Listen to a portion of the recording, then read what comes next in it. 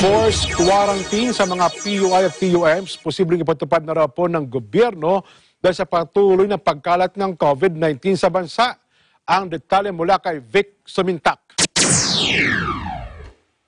Pinag-iisipan na ng gobyerno ang pagpapatupad ng forced quarantine sa mga itinuturing na persons under investigation o PUI at persons under monitoring o PUM.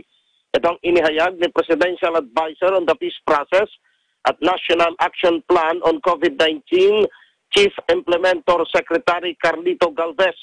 Sinabi ni Secretary Galvez na kailangan ng ipatupad ang estratehiyang isolate, contain at eliminate the virus sa pamagitan ng pagpapatupad ng forced quarantine sa mga persons under investigation at persons under monitoring kung patuloy na dadami ang bilang ng mga magpupositibo sa COVID-19 sa bansa.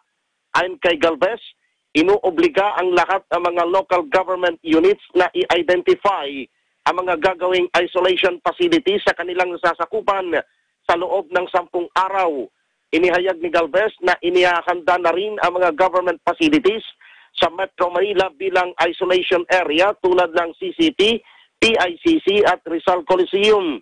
Iliwanag ni Galvez, kung hindi maghihigpit ang gobyerno sa quarantine procedure, hindi makukontrol ang pagkalat ng COVID-19 sa bansa. Para sa Eagle News, Vic Samintak, we live in interesting times.